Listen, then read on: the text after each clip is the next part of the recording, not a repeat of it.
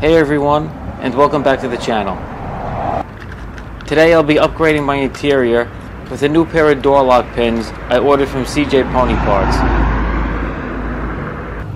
These pins are made by Drake Muscle Cars and easily install into any 79 to 14 Mustang. They're available in your choice of black, chrome, or satin aluminum finishes.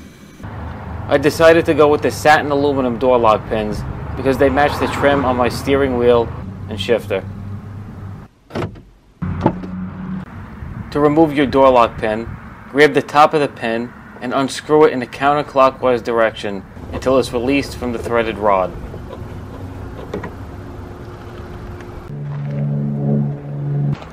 Now you can install your new pin by screwing it onto the door lock rod in a clockwise direction until it's secured.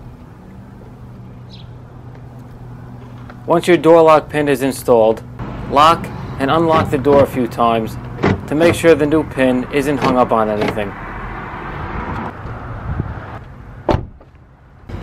To finish up, just repeat the process on the other side.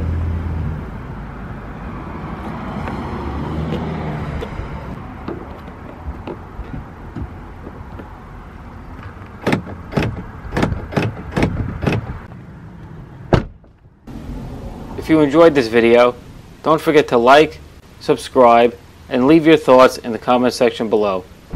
Thanks for watching.